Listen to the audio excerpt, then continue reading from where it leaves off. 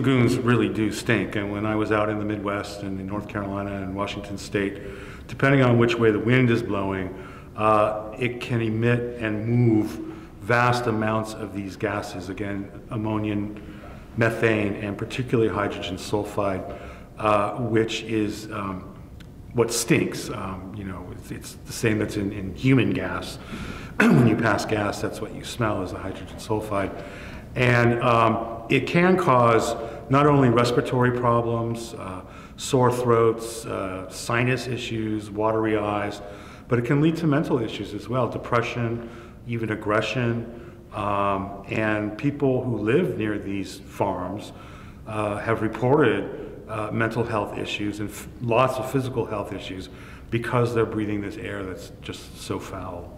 I think the United States is probably the leading factory farm country in the world, but we're seeing these farms coming now to places like Mexico, Brazil, China, and extensively in Eastern Europe, particularly in Poland and other countries in Eastern Europe. So the technology is being exported uh, to other companies, countries, often by U.S. companies that have subsidiaries, uh, for example, in Mexico.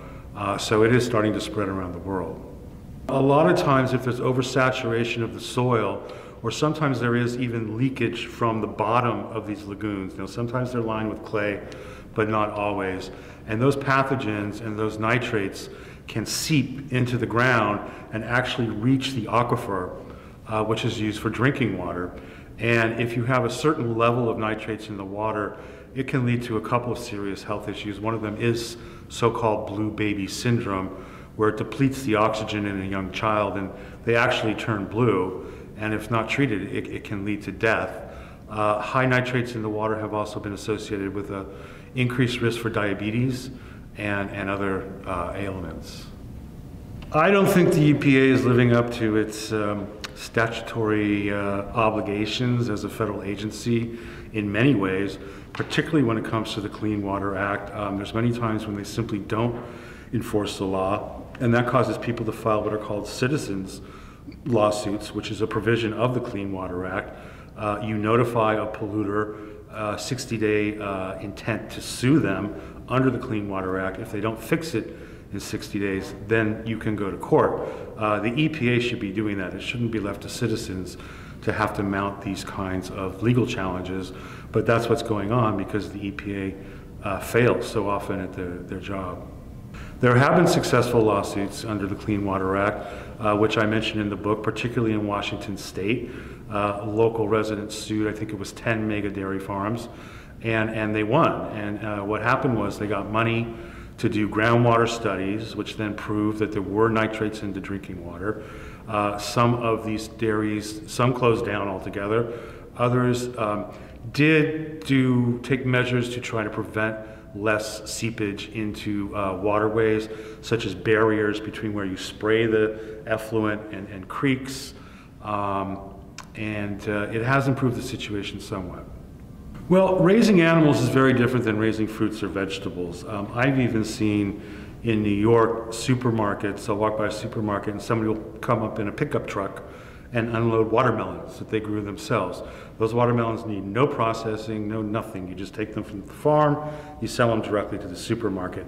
Obviously, you can't do that with milk, with eggs, or certainly not with meat. Uh, they, they need to be processed. And it used to be that there were many, many processing plants in rural areas, and farmers could actually pick and choose where they wanted to sell their animals. Whatever plant was giving the best price on the day that they wanted to take their animals in for slaughter, they could.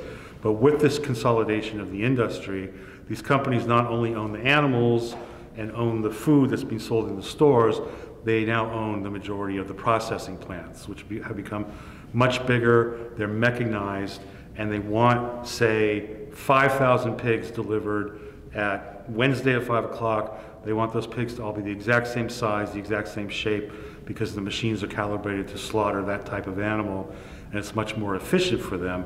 That blocks out the smaller producers. And if they can't get their animals to a processing plant, they can't sell those products. And uh, so it's a chokehold, it's like an hourglass. You have all this production up here, you have all this demand down there, but to get from here to there, you have to go through a very, very narrow channel.